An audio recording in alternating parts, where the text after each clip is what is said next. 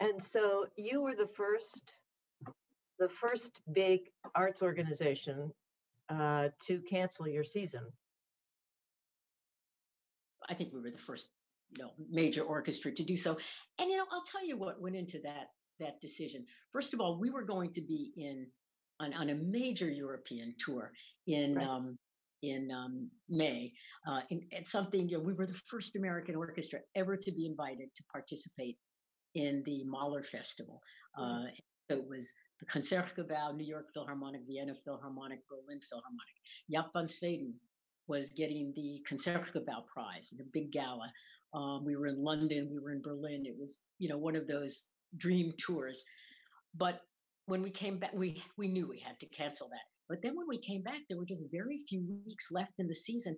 And honestly, I think as we analyzed what was happening to our sales and looked at the emerging crisis within the United States, we just knew we couldn't put on the rest of the season. And in fact, what we had to do was accept that and focus on what we were going to do to deal with dealing with uh, working with our patrons ticket refunds announcing things communicating all of that and that that would give us the ability to focus on what was really going to happen so that was our decision not to do it in bits and pieces but on march 23rd to say let's be realistic you know let's Right. do whatever we can let's do whatever we can to make sure that uh, you know this is a viable institution in september What about things like morale among staff and the players and so forth?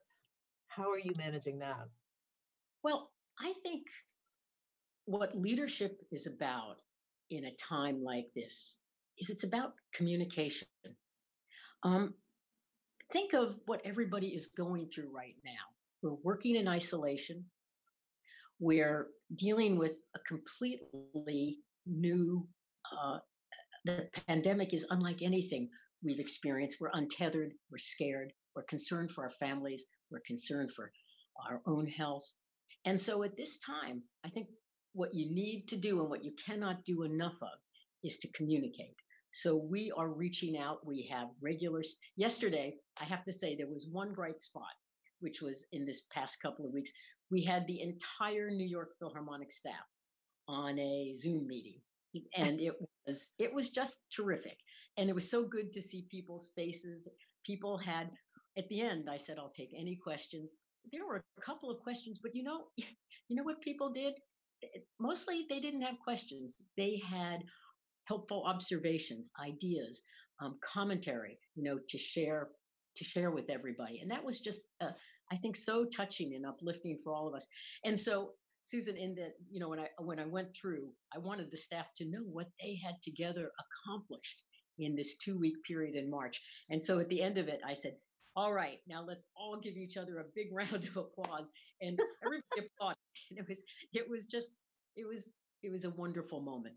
So I think leaders in this moment have to have to find a way that they are honest, they are realistic, but they also there will be a future, and they they point the way towards that. And you know, I you've heard me say this probably many times, but the New York Philharmonic has survived the Civil War, both World Wars, and the Spanish flu epidemic or pandemic in 1918 and we're still here. And we will be here again after this is over. We don't know exactly what we'll be like, but we will be here. Yeah,